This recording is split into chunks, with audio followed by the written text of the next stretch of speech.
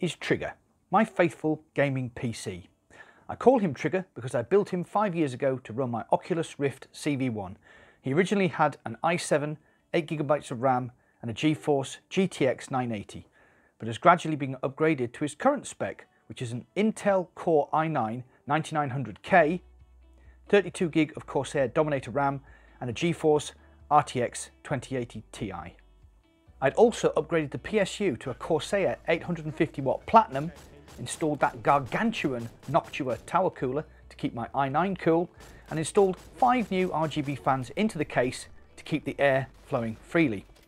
This was in expectation of upgrading to an RTX 3080 at some point, but we all know how that went. About six months ago, Trigger started to crash. Just boom, PC off, all the fans to maximum. It was so sudden that I had no time to troubleshoot the problem. Anyway, after months of head scratching and trying various solutions, my tech-friendly mate, Face, suggested it might be the thermal paste on the GPU had degraded. The 2080 Ti was two years old at this point.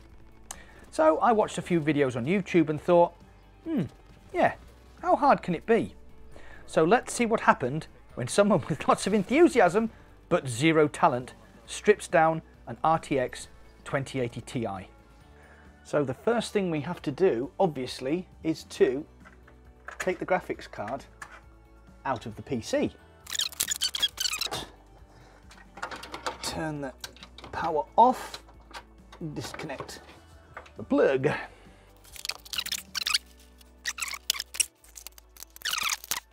No, I don't have anger issues. I do have anger issues. I get angry at inanimate objects.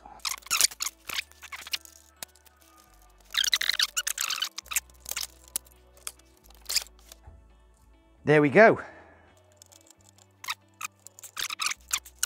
I was a little bit baffled um, because I'd taken all the screws out and I still couldn't separate the uh, PCB from the cooler. And then I found out that it was actually just the friction of the thermal paste.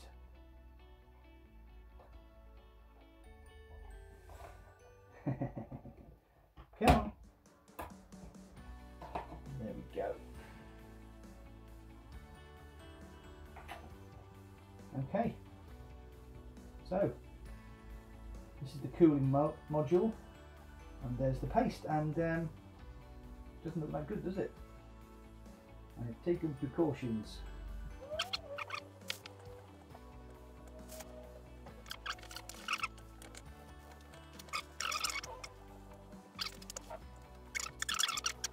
Give this a blow. Back at it. Possibly the most satisfying thing I've done all day. Right. I had some cooling paste, some thermal paste left over from when I installed the the Noctua. So, how much do you reckon?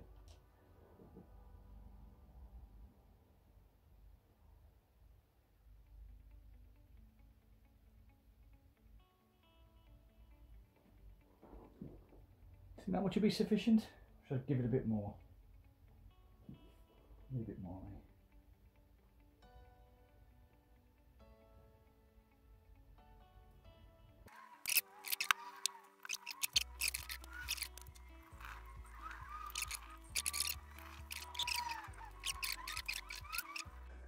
Right, so there we go. All the screws are back in. Thermal paste is applied. Everything seems to be working. Let's put it back in trigger.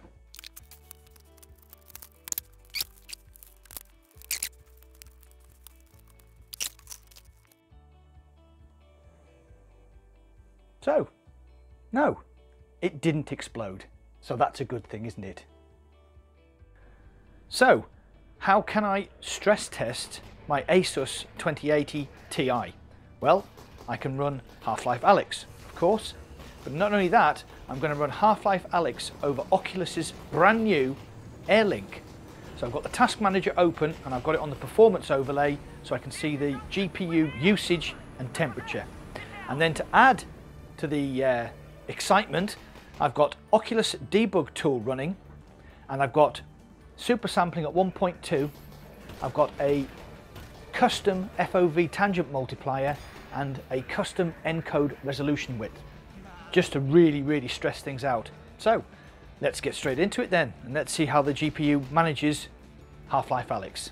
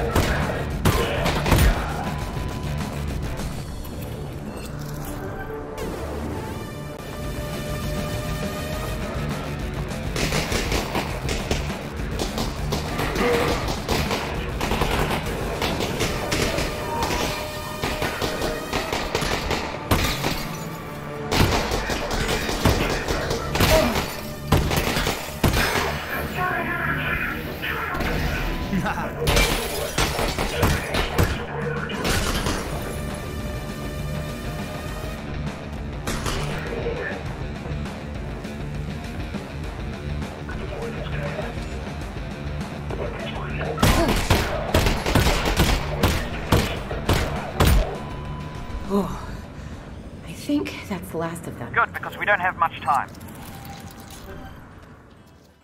So as you can see from the performance tab, the GPU utilization was up above 86% and the temperature never went above 84 degrees. So I think my strip down and replacing the thermal paste was actually successful and hopefully that solved my problem. What do you think? Have you ever done anything like that for your GPU? You know the drill. Get involved and comment down below. Well, that's it for today. If you enjoy the madness that is Mac in VR, please hit the like button. The algorithm loves the likes and maybe consider subscribing. You can also support me on Patreon or buy some of my stylish merchandise from tshirtstudio.com. Thanks for watching. I'll see you on the other side.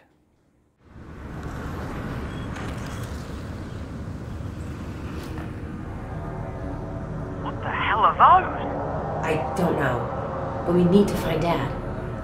Yeah, no, I, I know. I, I've just never seen those before.